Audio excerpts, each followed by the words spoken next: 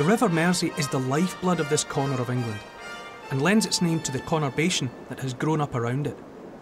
Merseyside. Its heart is Liverpool.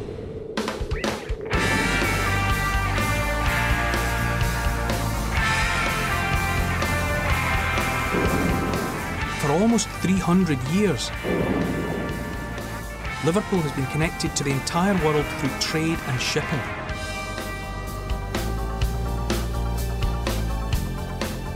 Where once they berthed ships, now the docks are home to brash new business and leisure developments.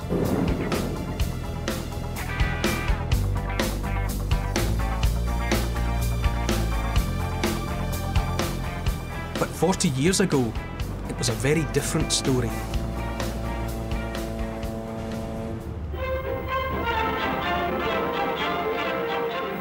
Through the dock gates, thousands of dock workers are arriving. In port, there are nearly 90 ships waiting to be loaded or unloaded.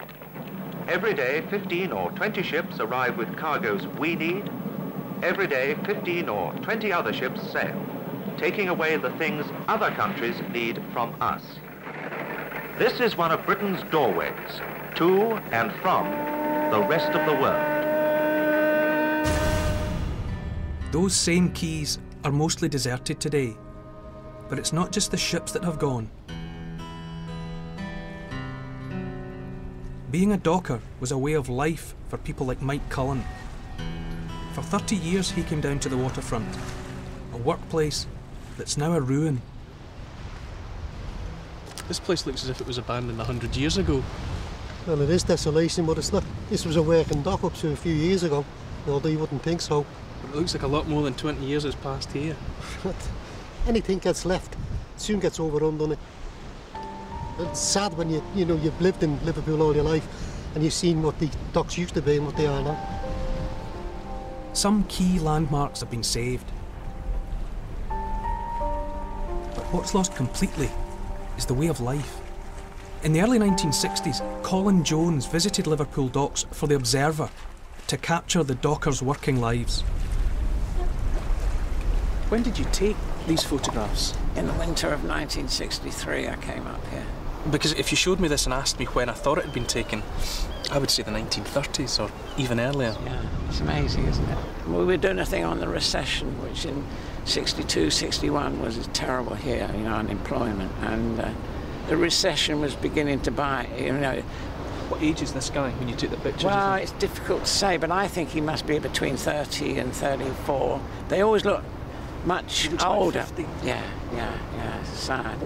He died not long after the pictures were taken. And, and this one again, I mean, Yeah, you know, it looks like a photograph taken from the Depression in the 1920s or mm, something. Mm. Yeah, yeah. But when you were here, this place was busy and there were thousands Oh, of men. yeah. And to look at it now, where it's, It's, it's, dead, it's like as if it's like as if the atomic bomb has happened. You know, there's just a few crazy things left, like the clock and these amazing buildings. Colin's photographs bring home the gritty reality of the dockers' world. Mike still remembers his first day on the job. To be honest, the first day it was a bit of a culture shock. You wasn't guaranteed a day's pay. You had to turn up at a place called a pen to get hired. And you got a tap on the shoulder, you give your book and you were hired for the day. Uh-huh. You got a day's pay. If you didn't get a tap on the shoulder, you didn't get hired. But you got your book stamped to put AP on your book, so attendance proven. Uh-huh. So you'd get a nominal payment for that. When you talk about, you know, turning up and maybe getting work, maybe not, was it a case of who you were, whether your face fitted, who your dad was? Oh, right, there was obviously bosses there who were the favourites. You know, if you were one of his favourites, then you got the tap on the shoulder and you got a job. And so the guys bringing up families on that kind of He was, yeah. circumstance. It wasn't too bad for lads who were single or lads like myself who only just got married and had no children. But anyone trying to bring up a, you know, a family on it, it was horrendous way of uh, working. Loading and unloading ships by hand was arduous and dangerous. It was all done under the careful supervision of the stevedores. It was his job to stow the cargo in such a way that it was going to be safe when it went to sea and none of the cargo moved. So was the work of a stevedore more of an art, more of a skill? Yeah, it was a skill, yeah. You got like a shilling an hour extra for being stevedore. The skills of the dockers and stevedores put them in a position of power. controlling the imports and exports that kept the country moving. It was a power that their unions weren't afraid to exploit. But the shipping companies had an ace up their sleeve, a trump card which would consign the dockers' way of life to history. And the end came packaged like this. The simple metal box that changed the world, the container. Once container ships entered shipping lanes around the globe, the lives of the dockers would never be the same. As the old ways vanished, the new docks, built to embrace container ship technology, thrived.